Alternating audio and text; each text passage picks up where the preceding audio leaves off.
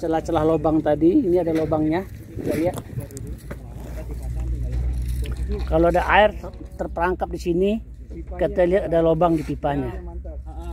Nah itu masuk ke situ. Oleh ke tekstil nanti dibuang ke ke pinggir jalan sudah. Nah itu akan uh, mengendalikan air yang terperangkap di bawah khususnya di daerah beskos atau timbunan aspal segala macam nah ini dia. Ini join T ya. Nah ini daerah galiannya. Cukup dalam bervariasi rata-rata satu meteran. Dipasang per 16 meter crossing ini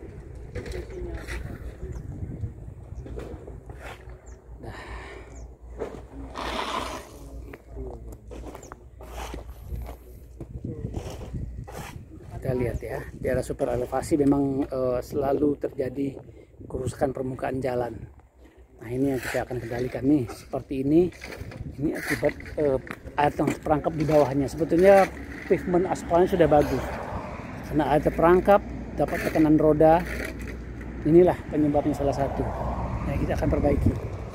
Segala upaya ini rekomendasi dari uh, konsultan ahli juga yang kita lakukan dan uh, termasuk uh, melaporkan ke kita rekomendasi.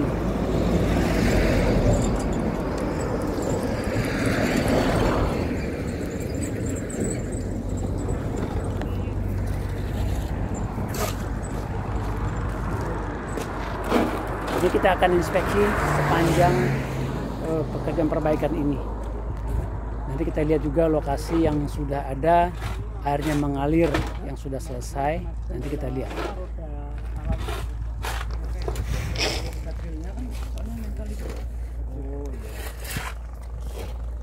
Kita lihat ini tim KHSE koalisi dari uh, waskita Sri Liatol uh, ikut inspeksi bersama saya. Demikian sementara kita lanjut lagi untuk melihat uh, pekerjaan adalah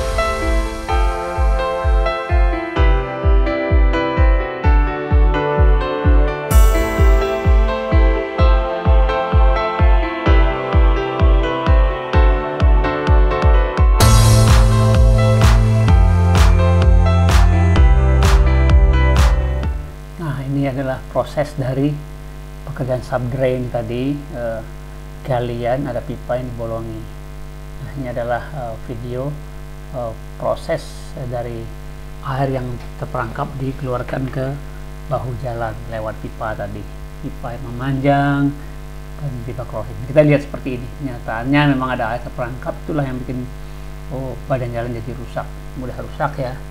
Jadi apa pun bentuk kekerasannya kalau air tidak di alihkan dengan benar. Nah ini kejadian. Jadi ini harus menjadi pelajaran juga ini temuan. Uh, jadi mudah-mudahan ini perbaikan yang baik akhir hasil ke depan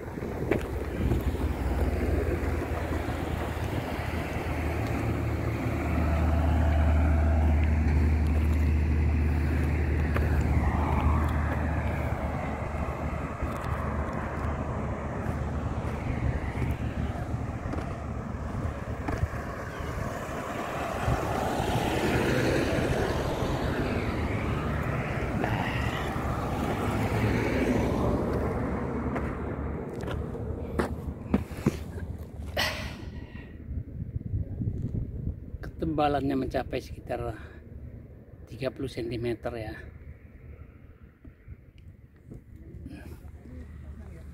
Ini adalah perbaikan badan jalan tol ruas Kayu Agung Palembang